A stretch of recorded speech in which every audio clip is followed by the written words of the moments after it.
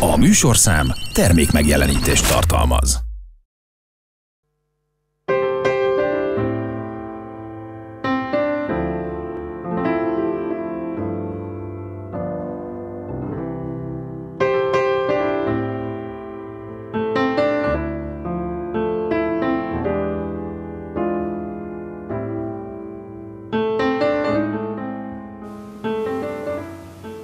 Szép estét kívánok, köszöntöm a Fehérvári Beszélgetések nézőit.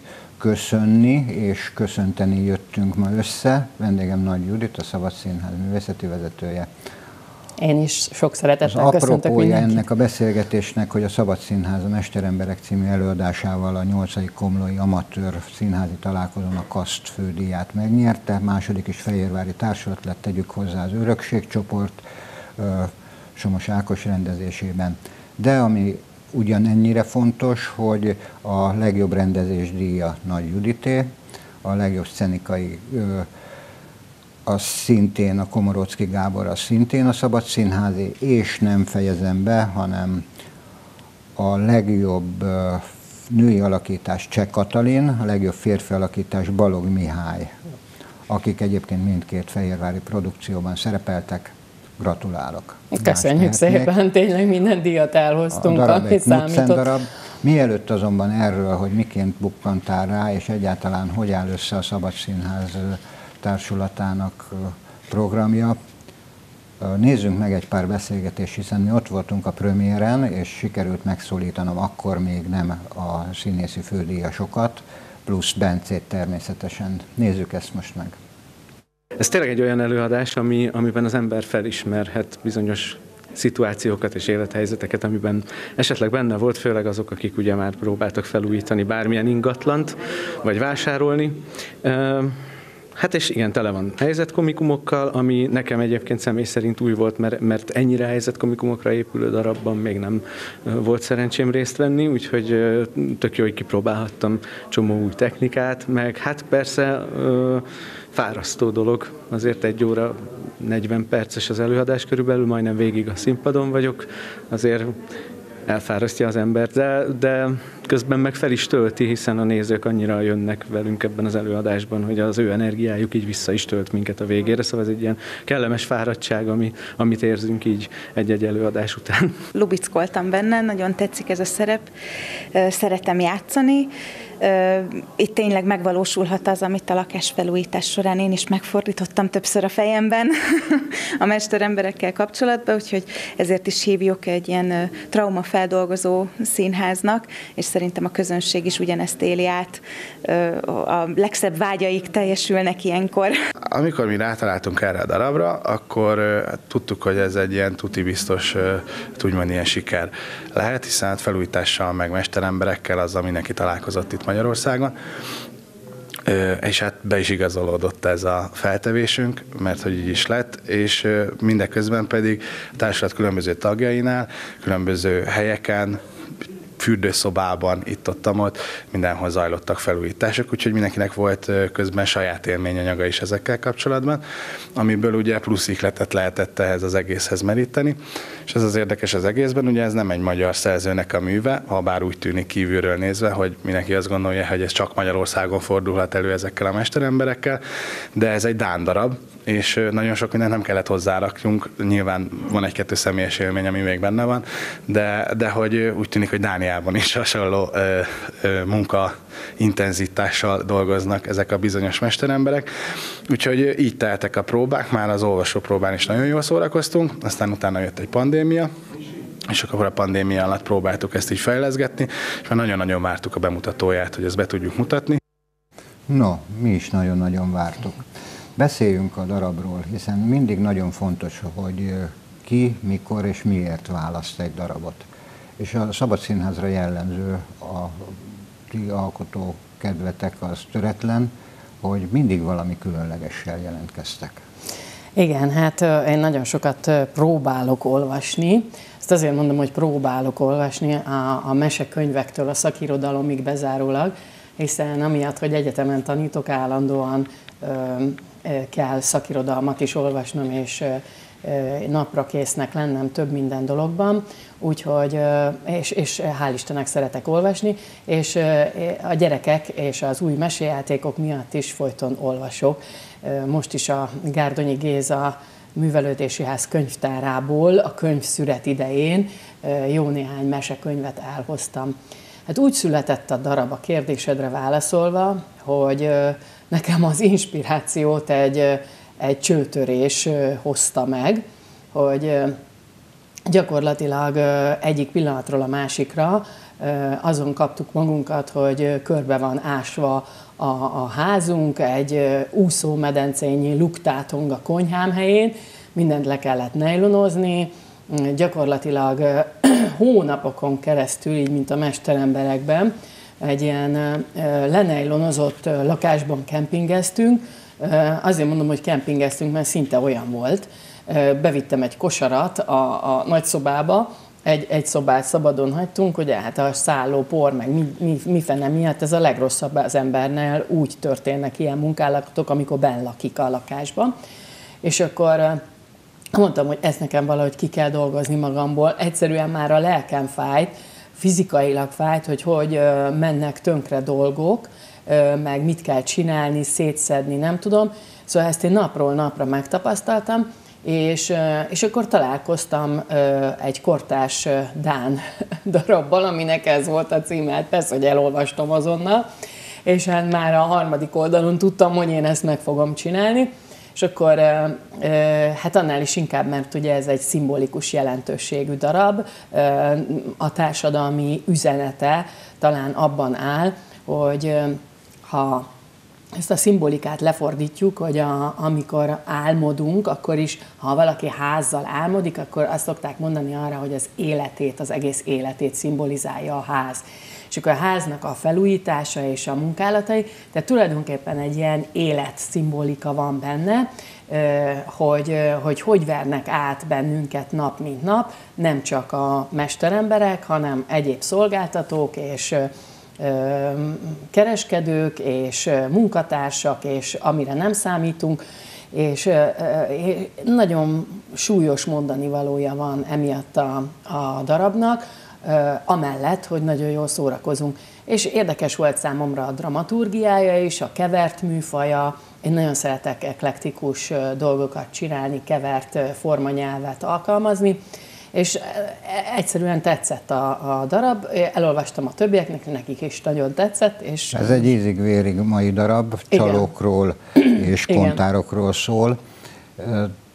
Knudson azért ismert arról, hogy a hasonló darabjai általában nagy népszerűségnek örvendenek, viszont a mai magyar nyelven tehát lefordítva a mai magyar nyelven ábrázolni ezt a történetet, ez, ez, ez tényleg szenzációs. Igen, hogy de most alá a... kell jönnünk, hogy most, most már ugye finn darabot is csináltunk, meg most dán darabot is csináltunk, hogy, hogy a finn és a, a dán és a svéd lelkivilág, nagyon sokan ugye a svéd krimik ö, rajongói, mostanában, ugye az is nagyon divatos lett, hogy, hogy egész egyszerűen valami, valami furcsa lelki közösség van, még a lengyel drámák esetéről tudom ezt ugyanezt elmondani, hogy, hogy a lengyel szerzők, kicsit, kicsit közel áll ez a mi lelki világunkhoz, ezeknek a, a népeknek a, a sorsa, és ahogy írnak, és amit írnak, nagyon-nagyon hasonló. Tehát a realitás és a bohózat itt találkozik, kézen igen, fogva jár. Igen, igen, igen. Vannak egyébként nagyon jó kortás orosz szerzők is, akiknek még gondolkodom azért, gondolkodóban vagyok. Tehát ez tudatos mindig a választás. Igen, most most például egy magyar szerzőművét fogjuk megcsinálni, amire már nagyon készülünk, ez az első ilyen színházi kísérlet lesz, emlékezett színházat még soha nem csináltunk, most ez egy emlékezett színházi előadás lesz. Kicsit az erdődíről is azt gondolják, hogy ez emlékezett színház, és kicsit az is valóban, mert az például egy, egy családi trauma feldolgozásra nagyon is alkalmas előadás, de akkor, amikor ezt ezt csináltuk, akkor nem igazán emlékezett színházban gondolkodtam. Az egy dolog, hogy, műfajilag tényleg oda is lehetne sorolni, de most kifejezetten emlékezett színházban gondolkodunk. Menjünk egy kicsit vissza Komlóra, hiszen ez egy rangos fesztivál esztendőről esztendőre, ugye ez volt a nyolcadik, ahogy már említettük, és jönnek határon túlról is, és ráadásul ilyenkor bizonyosodik be, hogy igenis szükség van a, ezekre a társulatokra. Szándékosan nem mondom azt a jelzőszerkezet, hogy amatőr társulat, mert meggyőződésem, hogy jó néhány sokkal, de sokkal több annál, és ezt ti is bizonyítjátok előadásról előadásra. Arról nem beszélve, hogy egy rendkívül rangos zsűri bírálja el ezeket a darabokat. Ugye olvasom, hogy német Ákos József Attila díjas drámaíró volt az idén, Regős János rendező, és Pataki András Jászai díjas rendező. Ők miként vélekednek erről a, a, én azt mondom, hogy határozott fejlődésről, amit a úgynevezett amatőr társulatok produkálnak évről évre? Hát Regősnek nem kell bemutatni, mert ő a Magyar Színjátékos Szövetség elnöke, és ő volt a Szkéné Színháznak az alapítója, és mi még Videoton Színház korunkban, meg később is sokat játszottunk a Szkénében, úgyhogy Regős Jánossal ö, elég, ö, hogy mondjam, régmúltra nyúlik vissza a kapcsolat, ismeri a társulatot, főként az idősebbeket, a fiatalabbakat nem ismeri, de figyelemmel kísérte a pályája során, ugyanúgy, ahogy Máté Gábor apukája, Máté Lajos, aki sajnos már nem lehet közöttünk, ő is figyelemmel kísérte a, a társulat sorsát, már csak azért is, mert azért Magyarországon, és ez egy fehérvárikum vagy hungarikum is egyúttal, Magyarországon ilyen társulatot még egyet nem találsz 65 évesek leszünk jövő évben, hogy, hogy ilyen széles korosztályi réteget mozgasson meg, folyamatosan működjön, egy helyben működjön, mondjuk egy városban működjön, de, de, de nincs még egy ilyen társulat. Tehát ezért is irányul ránk a figyelem, mert kuriózumnak tartja. Pataki rendező úr, aki jelen pillanatban a Kulturális Minisztérium államtitkára, pont színház ügyekkel foglalkozó államtitkára, és Pataki András is pontosan tudja ezt. És az, a, az az érdekesség, hogy Pataki pont egy olyan színházból jön, Sopronból, ahol pont reformszárnyas rendezők, mondjuk Katona Imre, aki az Arvis Ura alapítója volt, pont Soproni színházi főrendező.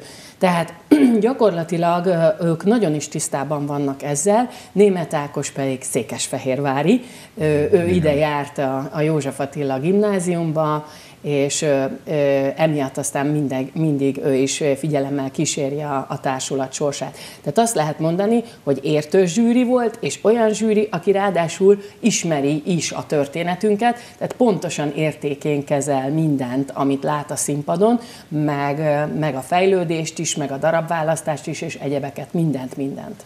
A Pataki Andrásra visszatérve, róla beszéltünk egyébként Ács Tamással, aki nemrégiben költözött Székesfehérvárra, mikor megszületett a gyermeke, és most már Fehérvárinak valhatja magát, aki ugye monodrámákkal, illetve verses előadásokkal jelentkezik, és ő beszélt róla, hogy Pataki Andrástól tanulta meg azt, hogy a jelen is nagyon fontos, tehát a kortárs darabok térhódítása is részben neki köszönhető de akkor egy kicsit térjünk vissza a darabról a darabra, a próba folyamatra. Én azt gondolom, hogy aki ezt látta, az azt mondta, hogy ez egy abszolút profi előadás, mint minden szabad színház előadás, de hogy tudják, hogy tudnak beilleszkedni a, egy ilyen bohózatos, realisztikus történetbe a, a színészeid? Igyekszem változatos műfajokat mutatni, és mint ahogy elhangzott a bejátszásban is, hogy ilyen darabunk tulajdonképpen a, a, a, az utca színházas produkcióktól eltekintve nem igen volt, és emiatt föl is kellett függeszteni a pandémia alatt a, a próbákat, mert ezt nem lehetett zoomon próbálni, mert itt a, a szövegnek volt a legkevesebb jelentősége, hanem a helyzet komikumoknak. Tehát nagyon nem volt mindegy, hogyha az egyik ide lép, a másik hogy néz, azt hogy reagálja le. Tehát egyszerűen ezt nem is lehetett nagyon részpróbázni sem, emiatt, mert, mert egy csoportos munka. Viszont az idő az nem tett rosszat neki, már hogy az alkotásra szánt idő, és emiatt ezt minden egyes zsűri kiemeli, hogy a, a mesteremberek, ami és szintén ugye egy kicsi áthallása a Shakespeare mesterembereire. A mesteremberek brigádja az, az egyszerűen tökéletes, fantasztikus, és nekem az nagyon jól esett, hogy Vasváron ott Szűcs Katalin Ágnes kritikus azt mondta róla, hogy ő a Katona József Színházban is látta ezt az előadást, és hogy ott kevésbé tetszett neki a darab, de ettől meg teljesen el volt ájulva, és Sztárek Andrea volt még a másik zsűritag, aki, aki szintén azt mondta, hogy hát ez, ez fantasztikus, és az, az a színészi játék, az az összhang, ami a mesteremberek között van, hogy az, az egyszerűen szenzációs. Ugye ebben a darabban nincsenek bonyolult karakterek, önmagunkra vagy mesteremberekre is ismerünk, tehát nincsenek pszichológiai folyamatok, tipizált alakok, hanem ezek egyének, aki ilyen. Igen, igen. Ez azért különlegesség. Igen, de nekem mindig azt mondta elődön Boldizsár Péter, hogy úgy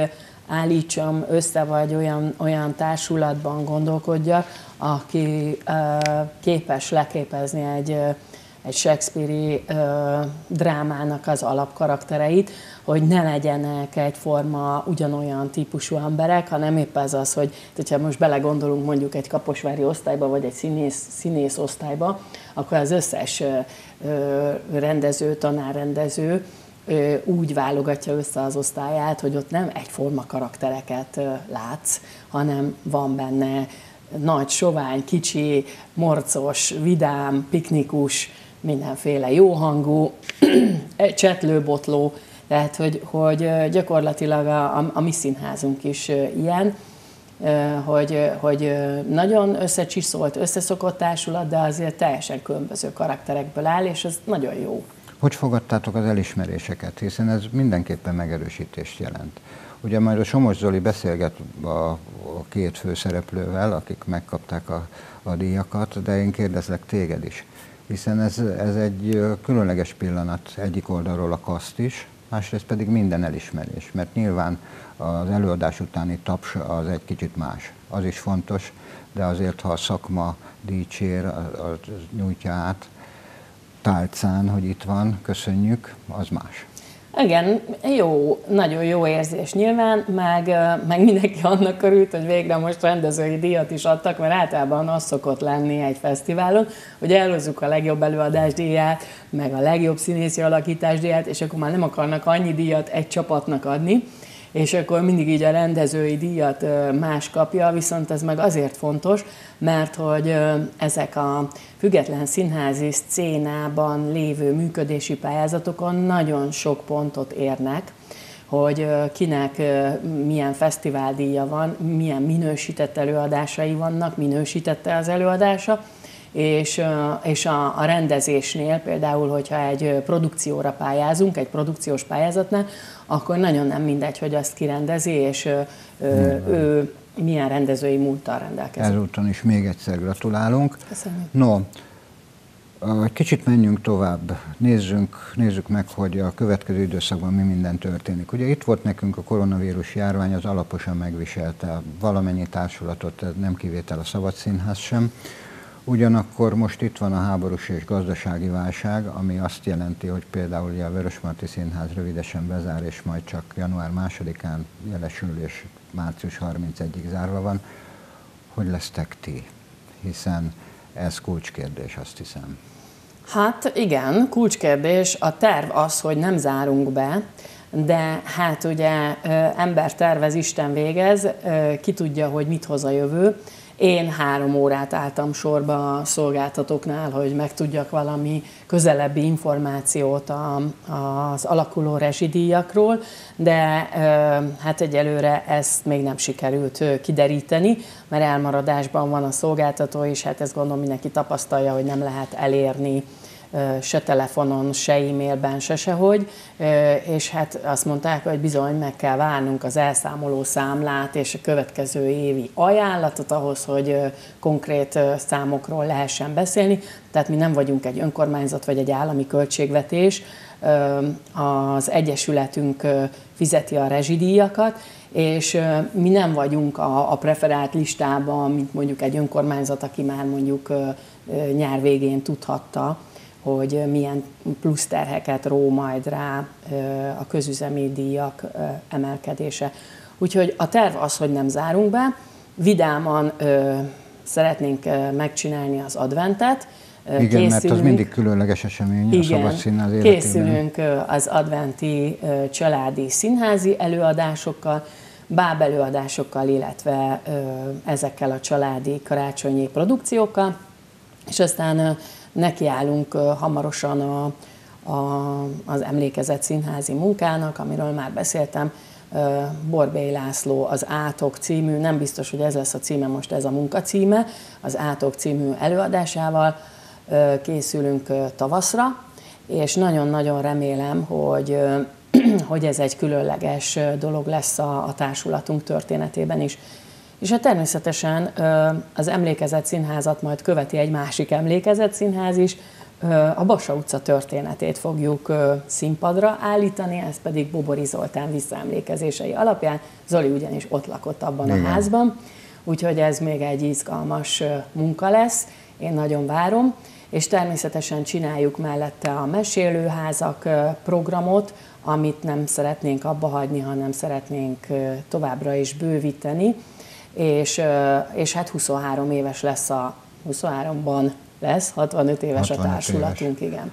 2023-ban 65 éves a Szabad Színház, úgyhogy egy jubileumi év is lesz, amelynek azt a mottót adtam, hogy éber állapot, mert ugye a Reform Színházi szárny egyik ismert alakja Grotowski, a lengyel Grotowski, akiről Adorján Viktor könyvet is írt az ő munkásságáról. Ő neki volt a, a színház és a színész kapcsolatáról, és a színész állapotáról, hogy milyen, milyen állapotban van a színész a környezetéhez, a, a partneréhez, a közönséghez viszonyítva, azt a, azt a tökéletes, parázsló, szikrázó állapotot ő aktív állapotnak és éber állapotnak nevezte, és én úgy gondolom, hogy annyi minden változás van körülöttünk, hogy nekünk is egy éber állapotra van szükségünk, hogy a környezet, a közönség, a színház, a partnerek állapotához képest meg tudjuk magunkat tartani egy éber állapotban. Érdeklődéssel várom, várjuk. Mi színház kedvelők azt hiszem, hogy számítunk arra, hogy ha máskor nem egyébként adventkor mindenképpen találkozunk, jövőre pedig közös ünnep, akár az egész évben rajtunk nem fog múlni. Köszönöm szépen, hogy megtiszteltél. Még egyszer gratulálok minnyájatoknak, jó helyre kerültek az elismerések. Köszönöm szépen, Judit. Köszönjük mi is. Kedves nézőink, a Fehérvári beszélgetéseket látták, témánk pedig, hogy a Szabad Színház a Kaszton, a Komlói Fesztiválon jószerivel valamennyi díjat elnyerte a Mesteremberek című előadásával. Köszönöm megtisztelő figyelmüket, viszontlátásra!